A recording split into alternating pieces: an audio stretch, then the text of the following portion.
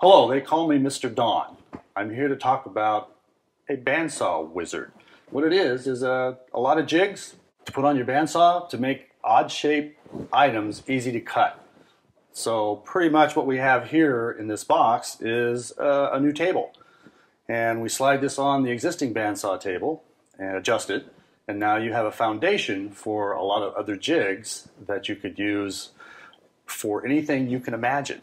So let's begin by looking at what's inside the box.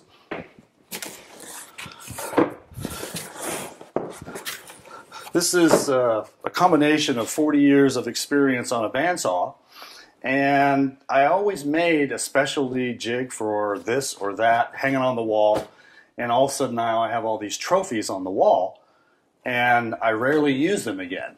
So what I tried to come up with was uh, a system where you have a nice table you can cut circles on, uh, you have other jigs that you can apply in T-tracks, uh, and be able to cut odd shape items because odd shape items are very dangerous uh, to cut all by themselves without a support. So for those uh, weekend woodworker warriors, here's uh, the instructions. it's written semi well.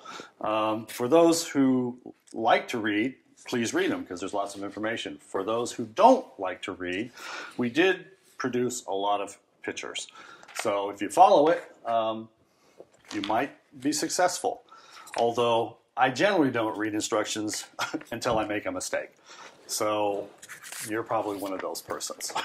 anyway, this is a table, and these are runners. Uh, the runners are going to run in your dado in your bandsaw table. I provided two. There's a little one that's under three quarters of an inch and three quarters of an inch wide because a lot of your dados aren't exactly three quarter inch.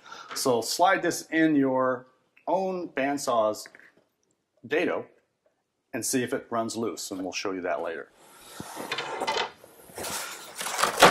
Once you take this apart, there's a secondary table that actually is going to slide onto your bandsaw. the bandsaw blade comes into here. This is a T-track for T-nuts and bolts. Uh, so you can tighten a pivot point here and you can spin circles. Um, the other T-tracks are for other jigs, and even if you don't have a fence, you can actually make your own fence and use this as a 90 degree offset you're going to be actually mounting your guide runner on the back side. So you're going to set this up where you'll put it on the bandsaw and it'll ride right in your own groove and be perpendicular and parallel to your blade. These tracks are for actually the angled clamps that will actually clamp to the underside of your own bandsaw table so you don't have any exposed clamps all the way around to clamp it to your table so it doesn't move. So everything is underneath, and now you have the full use of actually a larger table than your own bandsaw table. This particular size will fit any bandsaw between 12 inch and 18 inch. Uh, so this is a, pretty much a universal table. Uh, for future use, there are holes and dowels for extensions, but we're just going to be talking about this table for now. Okay, these come with angle blocks or angle clamps basically it's a piece of maple that has a 45 degree angle on it. And the idea is, is that you put your knob and your T-bolt in there and it slides right into the track on the underside. Now this is the back side of the table and you pretty much clamp them down. Now the idea is your bandsaw table will fit the edge. Now sometimes, you know, this angle on this pre-cut item is not quite perfect for your own table or your fence rail.